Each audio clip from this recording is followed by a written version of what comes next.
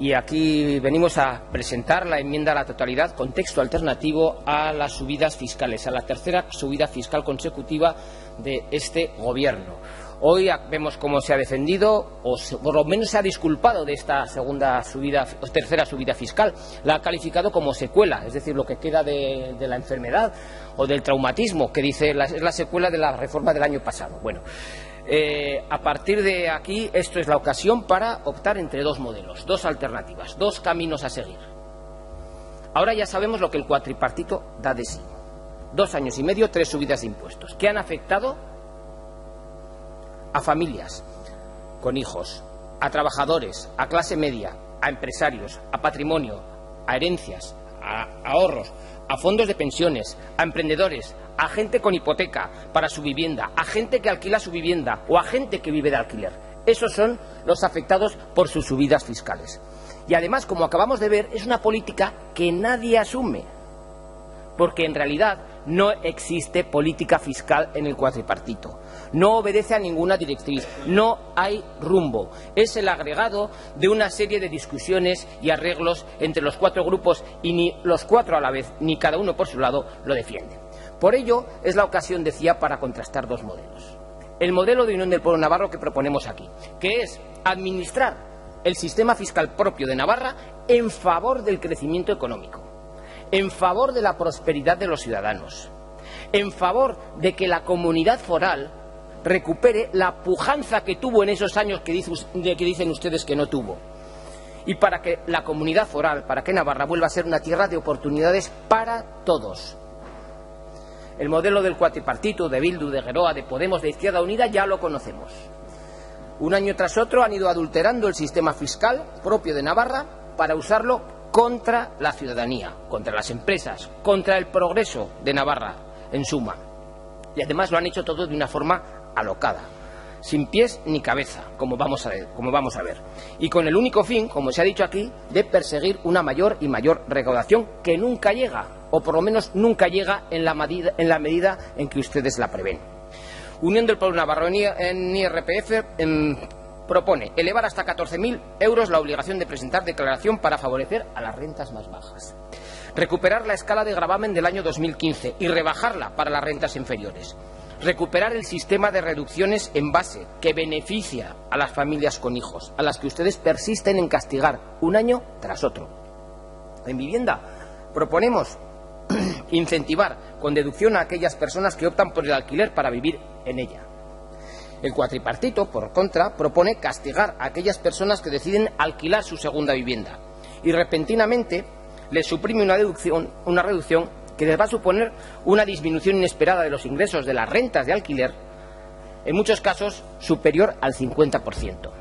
En el impuesto de patrimonio, Uniendo el Pueblo Navarro propone eliminar el conocido del impuesto a la empresa familiar. Sí existe la empresa familiar, aunque no esté contemplada como tal categoría. Tampoco se contempla la categoría de ricos, pero existe la empresa familiar. Hay una asociación de 128 empresas familiares de Navarra que están aquí, que apuestan por esta tierra, desde pequeños comercios o grandes comercios hasta eh, eh, otras factorías de mayor envergadura.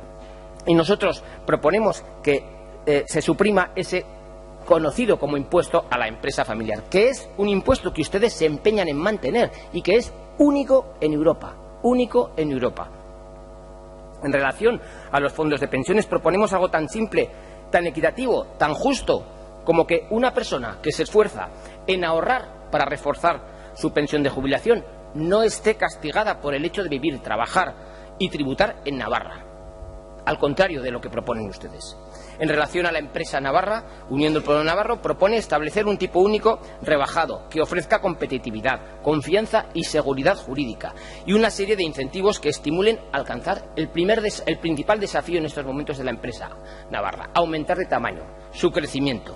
Por contra, ustedes proponen penalizar a la empresa navarra con el tipo más alto de toda España el tipo más alto de toda España. Y además le recortan la, exención por reinversión, le suben la tributación mínima y además también le recortan la compensación de bases negativas de años anteriores. También la empresa Navarra, gracias a su gestión, es la peor tratada fiscalmente de España. Le imponen el tipo más alto, el 28%. Pero es que además lo hacen justo cuando los vecinos del País Vasco acaban de acordar reducir ese impuesto al 24% o al 20% en algunos casos. El tipo. Con lo cual, en determinados casos, una empresa va a tener una diferencia de hasta ocho puntos a su favor si elige el País Vasco en lugar de Navarra. Ocho puntos porcentuales de rebaja en el impuesto de todas las empresas o empresarios que deseen trasladarse de Navarra al País Vasco. Ocho puntos de rebaja fiscal si esa empresa desea instalarse en el País Vasco, en lugar de Navarra. Enhorabuena, señora Yerdi, como consejero de Desarrollo Económico del País Vasco no tiene precio. Ha conseguido que el tren avance a toda velocidad por Euskadi y se retrase en Navarra. Y que la empresa tenga, la empresa Navarra tenga mucho mejor reclamo fiscal en el País Vasco que en Navarra. Cualquier día le pueden dar la medalla de oro, pero la de Ajuria Enea.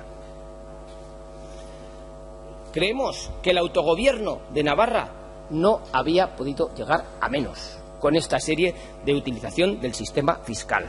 No puede llegar a menos. Se envuelven en palabras huecas, se regalan calificativos un tanto fatuos, pomposos, justicia fiscal, equidad, reequilibrio, vamos en la buena dirección, dicen ustedes de, ustedes, de ustedes mismos. Oiga, si son tan buenas estas subidas de impuestos, si son tan necesarias, ¿por qué no las aprueban en el País Vasco? Porque tienen mayoría aquí, pero también allí. Si sumamos los votos del PNV y los agregamos con los de Bildu y los sumemos con los de Podemos, en el Parlamento Vasco suman 57. Un 76%, si no están mal los cálculos, del Parlamento Vasco. Si tan buena es la reforma fiscal de Navarra, llévenla allí, llévenla allí. Tienen votos de sobra.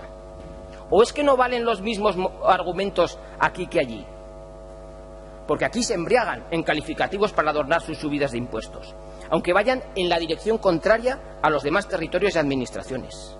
Son todos los demás administradores de otras comunidades necios, antisociales. Están todos equivocados menos nosotros. Son todos insolidarios, solo nosotros somos solidarios. Son insolidarios los representantes vascos, los riojanos, todos, excepto nosotros. No puede ser que estén equivocados todos menos nosotros. Decíamos que ustedes aprueban unas subidas fiscales con torpeza y luego las defienden con soberbia. Y para demostrarlo, lo más claro, por ejemplo, es cómo ustedes han propuesto arrebatar la deducción por vivienda que disfrutan hoy todas las personas que tienen una hipoteca para su vivienda. Un derecho adquirido que ustedes amenazan con despojárselo en el 2022, aunque los créditos estén, firmados para 30 años y como si todas las personas que tienen una hipoteca para su vivienda fueran ricos. ¿Cuál es la recaudación de esta, vamos a decir, ocurrencia? Para el año que viene, cero. Y para el siguiente, cero. Claro, después de aprobar el Gobierno en pleno esta medida, se han dado cuenta de que además de significar un atropello, además es absurda, además es improductiva y anuncian de aquellas maneras, porque todavía no lo han corregido, que dan marcha atrás a los pocos días de aprobarla. ¿Ven cómo estas subidas de impuestos están hechas con una torpeza absoluta? en sucesiones. Prácticamente ninguno de nosotros, ni probablemente ninguna de, la gran mayoría de ciudadanos, tengamos la posibilidad de, eh, de recibir una herencia de una gran fortuna, de, de cantidades importantísimas. Sin embargo, sin embargo, la única posibilidad como navarros de beneficiarnos de una gran herencia, ¿cuál es? Pues que los impuestos de esa gran herencia vengan a Navarra, vengan a financiar la sanidad, la educación o las prestaciones sociales. Pues bien, también eso se lo van a cargar, porque las grandes herencias pagarán en Navarra casi, casi 20 veces más que en el País Vasco. En Euskadi el 1,5 como máximo y aquí el 16%, con lo cual el que pueda se irá y Navarra perderá esos ingresos o esos impuestos, los perderá la sanidad, la educación navarra o las prestaciones sociales otra torpeza, otra torpeza. Y decía que tiran de soberbia para defender las subidas de impuestos. Primera muestra de soberbia. Desprecian a todo, a todo el que le advierte que están en una ruta equivocada. Descalifican los informes independientes que nos sitúan como la peor fiscalidad del país, porque hay informes independientes y ustedes eh, eh, tan solo se ocupan de descalificarlos, desprecian a las asociaciones de empresarios, de comerciantes, si alertan de la, de la preocupante deriva, ignoran a los contribuyentes cuando claman sorprendidos a las puertas de las oficinas de Hacienda por el dinero que injustamente entienden que se les ha recaudado de más. Y otra muestra de soberbia. Sí, hablábamos de falacias. Ustedes recurren a falsedades e infundios para descalificar toda crítica racional a su, política. Repiten, lo decía certeramente el parlamentario socialista señor Garmendia, repiten como los niños de San Ildefonso, muletillas huérfanas de argumentos, que luego resultan ser falsas. Por ejemplo, la reforma de UPN, eh, Partido Socialista y Partido Popular hizo descender la recaudación. Falso, falso. Por dos motivos. En su propio cuadro de mando del año 2015 certificaban ustedes que al año siguiente de esa reforma la recaudación aumentó en 191 millones. Y segundo motivo, la Cámara de Contos en su informe sobre las cuentas año de 2015 concluyó que ese año la recaudación ah, líquida aumentó un 6,4 respecto al año anterior. Dicen ustedes, Navarra, nadie se va de Navarra, no hay deslocalización de patrimonios ni pérdida de recaudación por las subidas de impuestos. Es falso y ustedes lo saben. Saben que se están deslocalizando patrimonios. Lo saben. Saben que se están deslocalizando empresarios que trasladan sus rentas, sus patrimonios a otras comunidades y todos los navarros perdemos esa recaudación que hasta ahora servía para costear los servicios. Claro que lo saben. Sus subidas fiscales están restando dinero que se va afuera y que ya no viene a las arcas forales. Tienen los datos. Tienen los datos de que es así. Aunque los oculten, aunque los nieguen, tienen datos de pérdida de recaudación y nos consta que a ustedes también les explican lo, lo mismo que nos explican a todos, que se van, que se rinden, que dejan de apostar por esta tierra. Lo sabe usted, consejero, lo sabe usted, presidenta. Otra falacia es que dicen ustedes, nosotros subimos los impuestos porque de esta manera recaudamos más y más. A más subida de impuestos, más recaudación. Solo hay que mirar a la recaudación líquida del año 2017, según sus datos nuevamente, como tras las subidas de impuestos la recaudación efectivamente aumentó un 9,03. Mientras que eso mismo la recaudación líquida en el año 2017 en el País Vasco, según los datos del País Vasco, con, impuestos más bajos, la recaudación aumentó un 9,7. Otra falsedad, dicen, subimos impuestos debido eh, a la deuda de la herencia recibida. Eso es falso. Eso es falso también. Otros dos motivos. En palabras textuales del informe de la deuda de la Cámara de Contos, la deuda navarra creció en el periodo 2000 a 2015 por debajo de por debajo de la media de las comunidades que no han subido impuestos y que no se han apoyado en esa deuda para subir, subir, subir los impuestos, por debajo de la media de las comunidades. Y segundo motivo, Navarra entró en la crisis siendo la quinta comunidad más endeudada. Y en 2015 había ya 11 comunidades con mayor nivel de deuda. Y tampoco han tenido que subir impuestos. Es falso que, tengan que, que no nos quede otro remedio que subir impuestos por la deuda, porque otros lógicamente, también recaudan más y no suben los impuestos y tienen más deuda que nosotros. Pero es que además ustedes, en pleno crecimiento, no han disminuido la deuda, no. Han, la han aumentado, la están aumentando. La han aumentado en 445 millones en dos, en dos años. Esa va a ser la, herencia que están generando. Y no la han aumentado más. Porque no les dejan. Porque hay una ley que eso lo impide. Porque bien se quejan, bien se quejan de que no se puedan endeudar más. Otra falacia. Sus respuestas, sus propuestas de bajada de impuestos, las nuestras, las de la oposición, conllevarían un descenso de recaudación.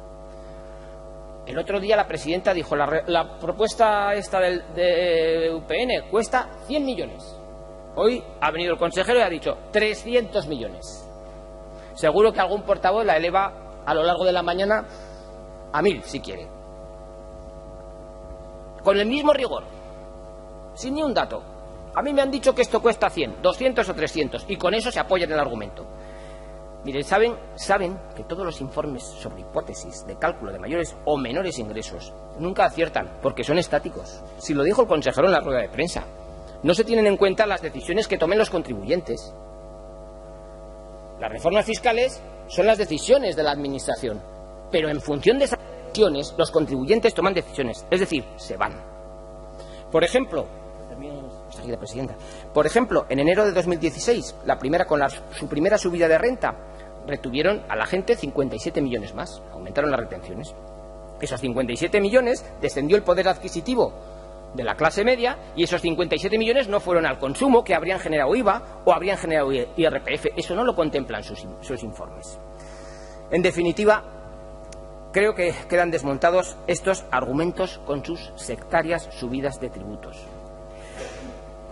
Creemos que están haciendo un daño irreparable a la economía de la comunidad foral y, por tanto, a su futuro, al futuro de mucha gente que aspira a trabajar, a progresar y a desarrollar sus proyectos profesionales y, em-, emprendedores en esta tierra. Dos años, tres subidas de impuestos han conseguido que los navarros tengamos el peor sistema fiscal de España. Causábamos admiración y cierta envidia y ahora provocamos temor, inseguridad e incertidumbre. Por mucho que se empeñen en fabricar desmentidos, que luego resultan no serlo. Por mucho que se empeñen. Señor Sánchez Munén, se le ha acabado eh, su turno hace un minuto. Que padecen empresarios, los comerciantes, los profesionales y hasta los ciudadanos de a pie, a quienes ustedes tachan de alarmistas cuando se lamentan ante las oficinas, Navarra ha perdido, ha perdido pujanza y ha perdido posibilidad de competir. Así que, por lo que más quieran, recapaciten corrijan esta deriva a la que están conduciendo a los ciudadanos y a la comunidad foral. Recapaciten y resuelvan sus disputas internas con otra cosa que no sea el dinero de los contribuyentes navarros. No zanjen, sus discordias a costa del presente y el futuro de todos. Muchas gracias. Se decía, le corregía el portavoz de Bildu al consejero, usted no diga que estos son las secuelas de su anterior reforma. Creo que se ha equivocado, querrá decir hijuela. Pues no cuela. No cuela. Quería decir lo que quería decir. Porque además, me imagino que querrá decir, o le habrá traicionado el subconsciente, para decir lo que decía el portavoz de, de al día siguiente, que era, no era la defensa enfervorecida de una reforma fiscal, era más la defensa de un reo ante un tribunal. Cuando dijo, se me ha ido la mano, se nos ha ido la mano, señoría. No queríamos apretar tanto, queríamos darle un susto y se nos ha asfixiado. Eso es la defensa que hizo el portavoz, la primera defensa que hizo el portavoz de Guero Abay de esta reforma fiscal. No es la defensa de alguien que cree en la política que está aplicando. Podemos, pues, ha hecho gala ha hecho honor a lo que efectivamente dijo. En su, dijo, en su día dijimos que era un disparate lo que había presentado y es tan disparate que hoy no lo vemos reflejado. Dijo, vamos a, quitar las deducciones. Dice, no, no, que nos han convencido. Ha desaparecido. Incluso cuando dicen, ya hemos rectificado, ya no hay, que corregir nada sobre la supresión repentina de las deducciones a vivienda en el año 2022, a todos los que tengan hipoteca. Ya hemos rectificado. Pues si no hay que corregir nada, ¿qué pasa? ¿Que no van, a, no van a presentar enmienda para corregir eso? Porque está publicado, ¿eh? Está publicado y enviado al Parlamento, por mucho que usted diga. Se supone que presentarán una enmienda. Nosotros sí la vamos a presentar, porque nos parece un disparate, pero por lo que hemos leído, pensamos que ustedes también. La única, la principal crítica que se hace es que cuesta y que incluso se ha dicho es que no ustedes no han cifrado cuánto cuesta su reforma, su propuesta alternativa. Pues mire, podíamos haberle contestado, pues es verdad, hemos ido a la cafetería y nos han convencido de que nuestra reforma va a conllevar 500 millones más de recaudación. Con el mismo rigor, con exactamente el mismo rigor que ustedes dicen que esto cuesta 300 millones. Porque ese rigor era otro hace una semana cuando la presidenta dijo que costaba 100. En una semana ha subido 200. En una semana. Y Ahora dice el portavoz de Izquierda y para la comisión, seguro que para la comisión aún sube más. Estaremos en 500. Con lo cual, señor Araiz, creo que ha sido usted el que ha dicho, digan, digan de dónde van a a quitar esos 300 millones. Pues no se lo voy a decir porque ustedes manejan el cuento de la lechera y es la prueba diabólica. Si yo ahora le dijera, asumiera su, su planteamiento de que esto cuesta, porque sí, 300 millones, pues la semana siguiente lo subiría a 1000 y entonces me diría, diga, diga, esos otros 700. Hombre, pues yo creo que esto requiere algo más de rigor.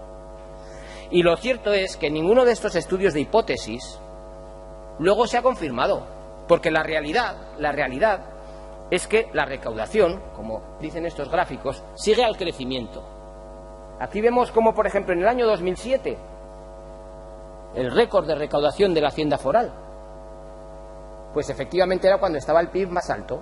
Y luego ha ido bajando por la crisis y se han ido subiendo los tipos. Incluso en época de UPN se han subido los, los impuestos. Pero no ha subido la recaudación en la misma medida. La recaudación seguía cayendo. Porque la recaudación sigue al crecimiento. Y cuando estamos en crecimiento lo que corresponde es animar ese crecimiento. Se nos dice, ustedes ahora quieren ser como el País Vasco. Hombre, pues no. Creo que quieren ser más ustedes. De hecho, bien podría haber aprovechado la presidenta en esas de sus múltiples reuniones con Urcuyu para que la televisión pública de Navarra sea la ETV, para los mediadores de ETA, ayudarles al teatrillo que montaron, para la, Euroregión. Bien podía haber hablado también un poco de impuestos. De impuestos. Dices, no nos vamos a hacer, como usted decía el otro día, como Madrid, que hace dumping fiscal. No nos vamos a hacer esa competencia inútil, ¿no? Pues nos hubiera gustado. Y sí es cierto, sí es cierto. El, eh, el, gobierno vasco obtuvo el otro día la aprobación de la revisión del concierto y esperemos que pronto se actualice la aportación de Navarra. Seguro, parece ser que va a ser mejor, que van a salir más favorecidos los del País Vasco que Navarra. Parece ser, parece ser. Pero es que al día siguiente han bajado los impuestos. Y aquí vamos a tener la desgracia de que al día siguiente no van a bajar los impuestos, van a subir. Van a subir van a subir. Y cuando se nos dice, pues es que a ustedes les parece muy bien que los impuestos están administrando mejor el sistema fiscal. Por desgracia, están administrando mejor, no sé si bien o excelentemente bien, pero mejor que nosotros porque no lo estamos haciendo. Y lo que queríamos hacer ver es que, por ejemplo, el señor Ayerdi, presidente del PNV hasta hace poco, el PNV en el País Vasco tiene y mejora a la baja una fiscalidad. Y el PNV en Navarra mejora o empeora al alza en, perjuicio de la mayoría de los ciudadanos la misma, el mismo o un sistema fiscal parecido, con plena competencia para establecer los tributos.